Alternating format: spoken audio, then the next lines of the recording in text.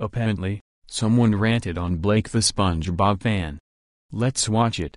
Hello guys, Zachary White 3 here, and today, I will rant on Blake the SpongeBob fan, but if you like him, then get the f out of here. Come on. Why does every UTTP users just bashes other people's opinion? They really need to tolerate on other people's opinions, especially you.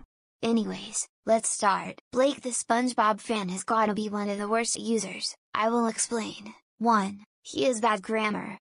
Okay. 2. He makes Clyde gets grounded. Come on, just leave Clyde alone.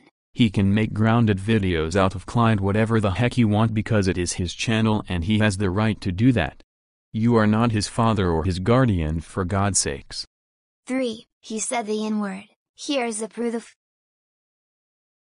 Bruh, there's no way he said the N-word, no why?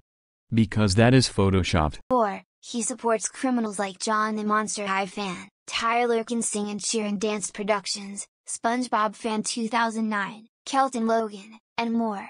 Bruh, how are we criminals? Can you explain why? 5. He claims that he hates criminals, when he is one himself. 6. He hates Rule 34. Are you f***ing serious? You know that hating Rule 34 is a serious crime and you can get executed for that. How is hating Rule 34 a crime?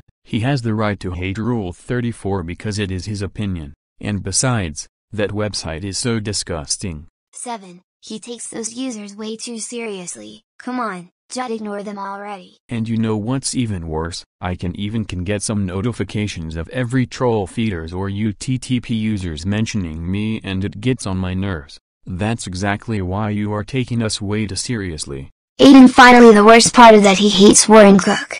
Again. That is his opinion, and he has the right to hate Warren Cook whatever he wants. That's it. Time to eat you. Yum yum. Cannibalism much. And that video was horrible, and this commentary,